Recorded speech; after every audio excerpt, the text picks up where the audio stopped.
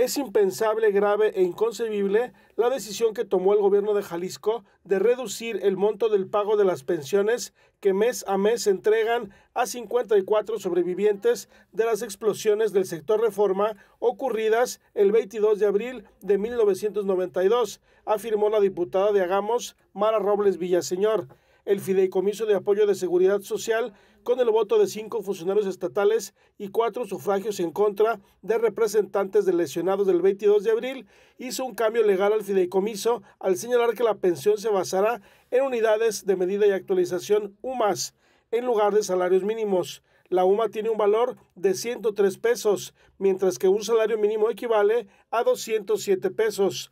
Mara Robles afirmó que se trata de un acto indigno en contra de los sobrevivientes de las explosiones, a unos días de que se cumpla el 31 aniversario.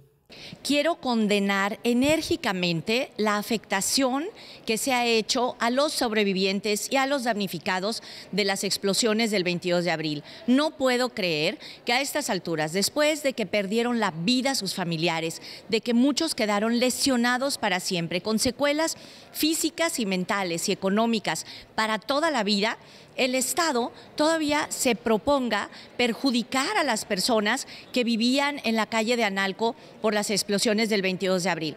Mara Robles afirmó que desde el Congreso del Estado levanta la voz para que el gobierno de Jalisco rectifique la decisión de reducir las pensiones para los lesionados permanentes y también pidió que el gobierno federal se haga cargo de un acto de negligencia, ya que el responsable de las explosiones fue Pemex.